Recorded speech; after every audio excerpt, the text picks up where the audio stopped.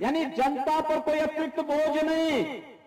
लेकिन विकास की योजनाओं के साथ जनता को जोड़ेंगे और इसी तरह से एलईडी स्ट्रीट लाइट लगाने का कार्य हम करेंगे। लेकिन जब बोर्ड नगर निगम इकाइयों में बनेगा तो वही बोर्ड तेज़ी के साथ उन कार्यों को कर देगा। जहाँ भारतीय जनता पार्टी का बोर्ड दुर्भाग्य से नहीं बनेगा, वहाँ पर फिर लूट खसोट मचेगी और अंततः ऐसी इकाइयों को भंग करना पड़ेगा।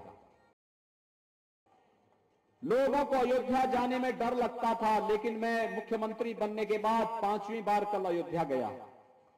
और अयोध्या में इसलिए गया था जिससे हमारी नगर निकाय की इकाइयों को भी हम अयोध्या की दीपावली के साथ उसी तर्ज पर जगमगा सकें। पूरा प्रदेश की हमारी 500 653 नगर निकाय की इकाइयाँ दीपावली के रूप में वो आनंद की अनुभूति कर सके कि वास्तव में दीपावली का पर्व अयोध्या ने देश और दुनिया को दिया।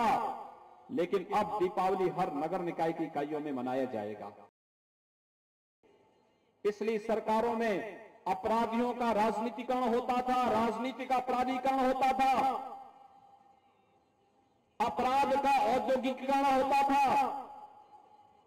और पूरे प्रदेश के अंदर अराजकता होती थी दंगा होता था। लूट खसोट और अराजकता का नंग तांडव होता था।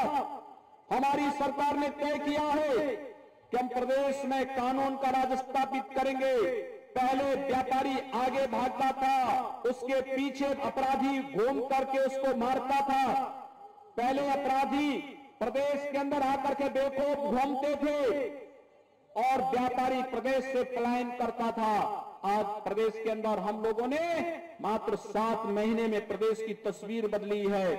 आज व्यापारी प्रदेश के अंदर आ रहा है। वह निवेश करना चाहता है, निवेश कर रहा है और अपराधी प्रदेश छोड़ करके भाग रहा है।